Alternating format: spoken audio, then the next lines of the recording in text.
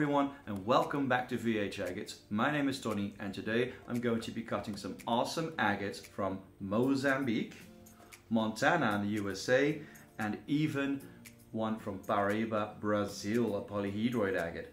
Uh, I got these all from Joshua over at Agate Bay, so make sure to check out his website. Come join me.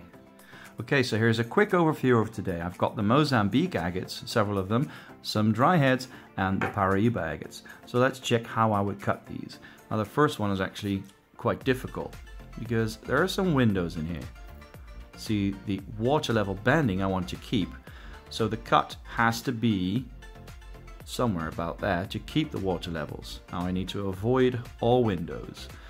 There's no real chance of a diagonal cut because of this window and this window, so I'll probably go straight through the middle with this one. This one is a surprise, so I can go the long way or uh, along the thick way just to keep enough banding. If, if there are bands in there, I mean, I've got this one, there's a nice little window here, nice little window there. I'll probably go for biggest surface in this way. So I'll go diagonally over there.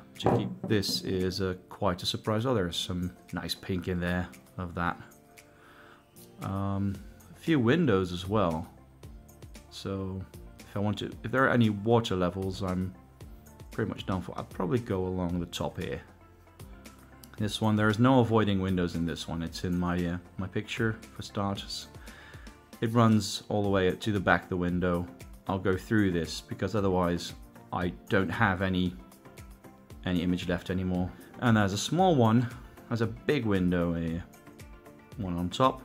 I'll try to go straight through the middle there. As for the Dryheads, some of them have a window, but I'll go for the biggest image I can get out of every one of them. So there's some agate in here. I'll probably go behind it and try to get the biggest face out of it. This one as well. No telling what it will do. I'll go for the biggest face. Very curious to this one. There's a piece of agate here. And I'll probably go for the biggest face. I'm not going to take this one into account. It's just about the width of my blade. So I'll probably go through it, this one, to have the big face. This one has a piece missing, but no agate there yet. So I'll probably go straight through it for the biggest face a flat one. So again for Dryhead, biggest face. And this one as well. Take the bottom part, there's a bit of chalcedony here, as far as I can see, so go through that part. As for the Paraíba goes, um, these aren't fractures, they're actually chambers because you can see the lines there. I'm not sure if I can take them into account. If I want the thickest part, I'll have to go past here over this line to this corner. That way I have all the colors inside because you can see it's darker inside. I'll have a big full face there. Okay, first one, here goes.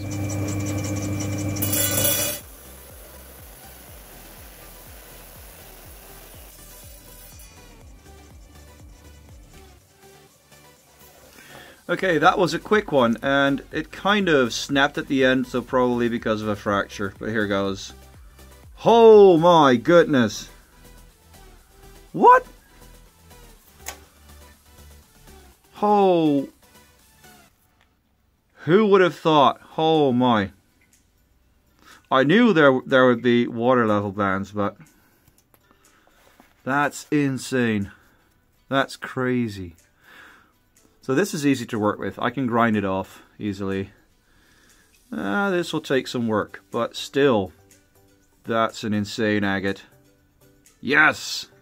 what a start. Let's go to the next one.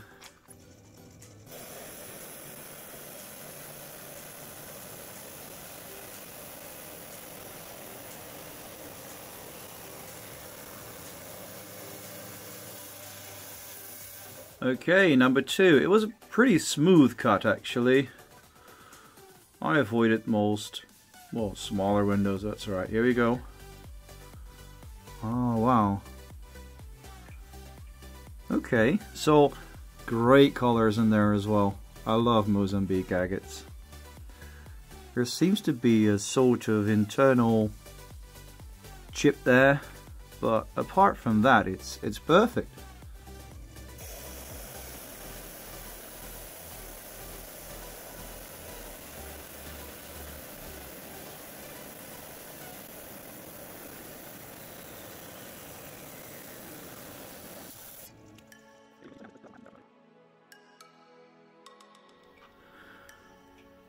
Wow. Look at these bands. Oh wow. And the eyes in there they're they're awesome. and again, very lucky. No major stress no major fractures. There are some underlying ones, but they're they're not bothering anyone. These are awesome. Like the little sort of calcite flowers almost. I'm not sure if they're calcite or aragonite or nice inclusions. Another great piece. Let's go on.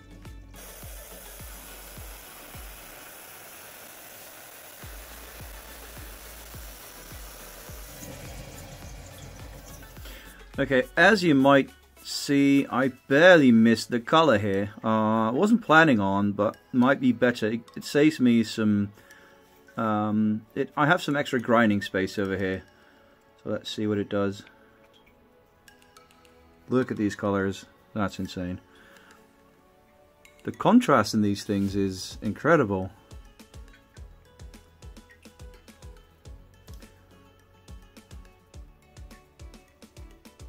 The grow forms like oh, stalactites, stalagmites are awesome.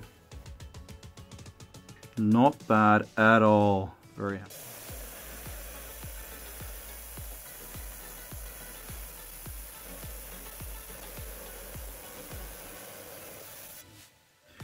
So obviously I don't know what the face is doing, but I'm happy with the cut I made. I mean, cutting by hand is sometimes difficult. I have a vise, but it's very small. So here we go. Now how is that for pink, eh? That is cool. Very soft pink pastel drawing. Yep, very happy with that.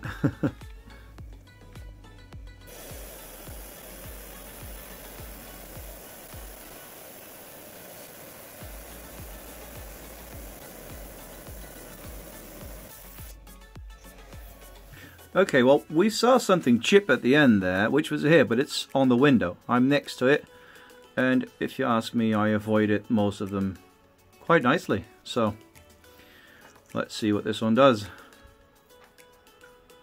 Oh, wow.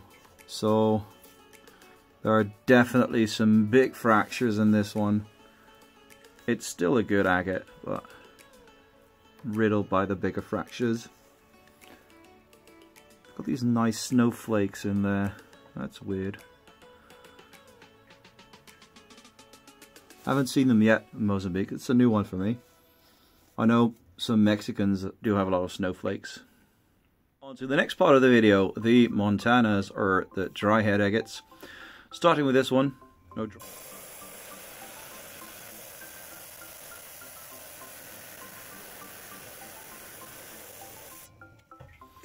Okay, well the matrix is harder than I expected.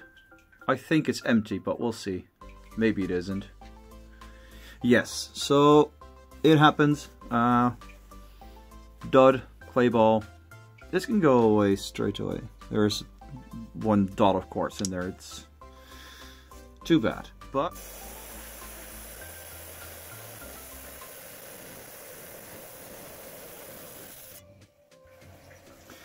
Okay, so a bit wobbly at the start. Uh, a piece of the matrix broke off. I think the cut's still okay, still nice. Here we go. Hey, there is some agate in there. it's small, but it's very nice. Blue and orange is very great. Very good in this piece. Oh yeah, there is an edge here, but shouldn't be a problem when grinding. Nice little piece.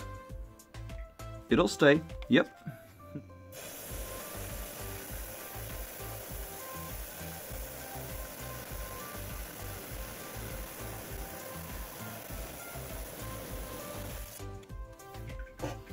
Okay, up next, I think I saw a glimpse of quite a bit of matrix there. Yeah, well, we'll see.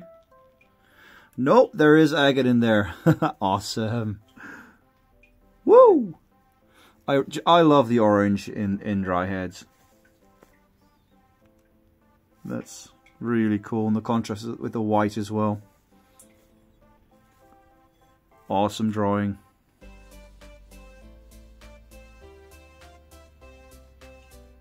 Nice. On to the next one.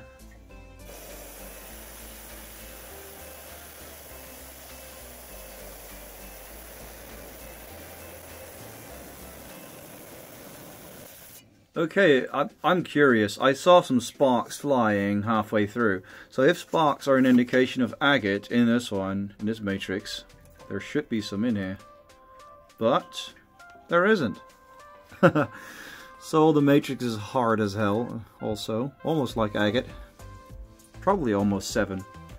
So that's one for the bin.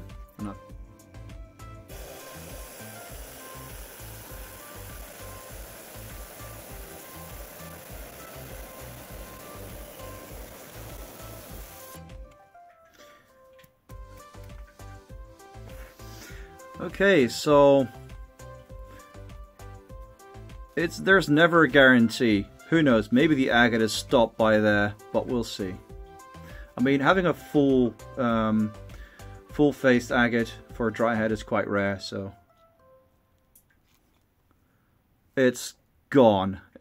and in the middle there's a very tiny one. so where I suspect it to be more, is, like I said, you can never be sure.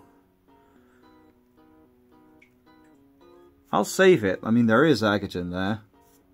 It's not even ugly, but still. That...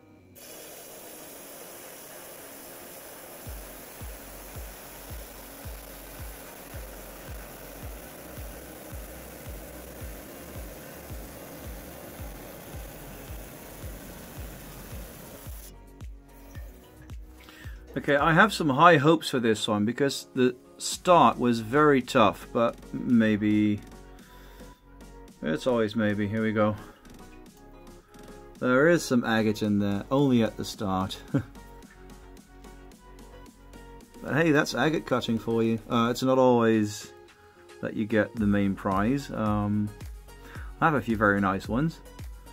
But yeah, there is some agate in there.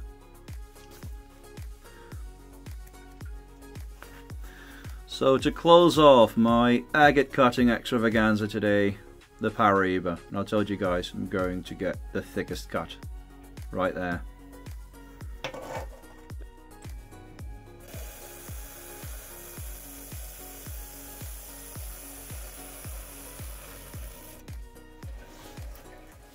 Okay, it was a very, very smooth cut. I suspect there will be some quartz, maybe uh, dark botryoidal, it sounds hollow. Here we go. Oh, what? it's blue botryoidal. Oh, no, blue agate and white botryoidal. That is awesome. Look at those tiny little botryoidal balls in there. Come on, focus. What is that? Wow. That's weird.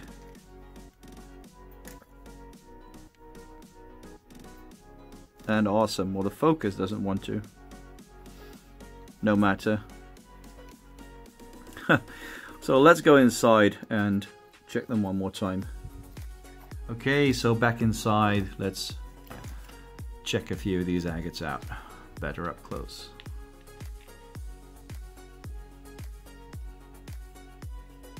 The contrast is absolutely amazing.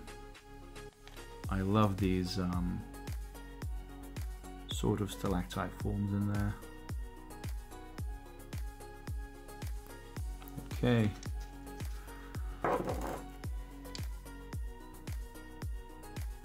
If you love pink, you'll love this piece. it's as easy as that. There might be a very thin stress fracture there. Nothing to be worried about. This one was a bit broken up. Might be able to use some epoxy on it. I'm not sure if that will help him out. We have this lovely piece.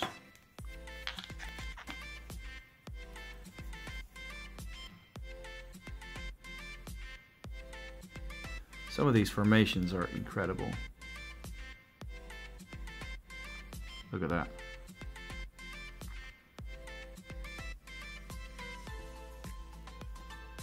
Awesome. I really like this agate.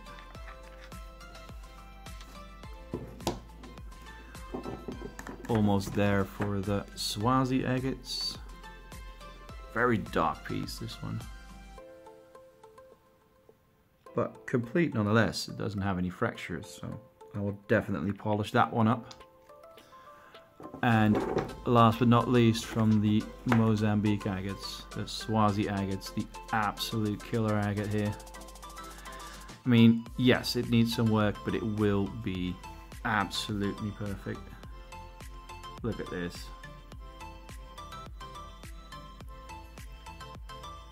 Agate wise, it doesn't get better than that.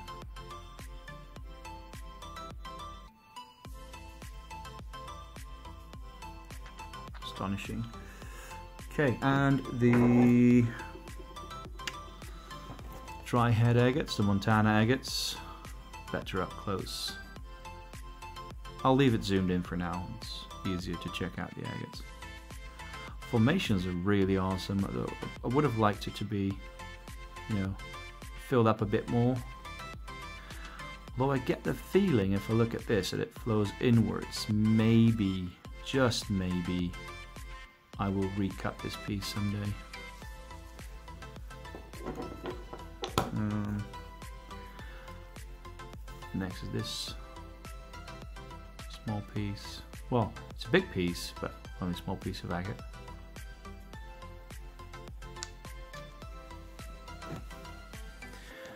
The big boy, really big boy, but it just doesn't do much.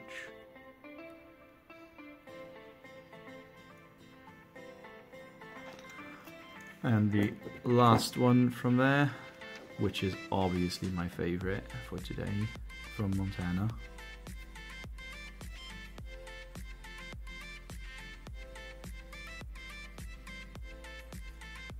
Really nice. And last but not least, we have the polyhedroid, which is insane. Colors are just astonishing. You have the this, this, the blue lines, so the blue agate formed inside the quartz, the flow-tree type, and then the botryoidal is almost like a teal color, like blue and green mixed together. Add to that these extra formations, like sort of extra chambers, makes it an amazing piece. Top notch. So thank you all for watching. um, tell me in the comments which one is your favorite today. And, ooh, and I'll see you all in the next video.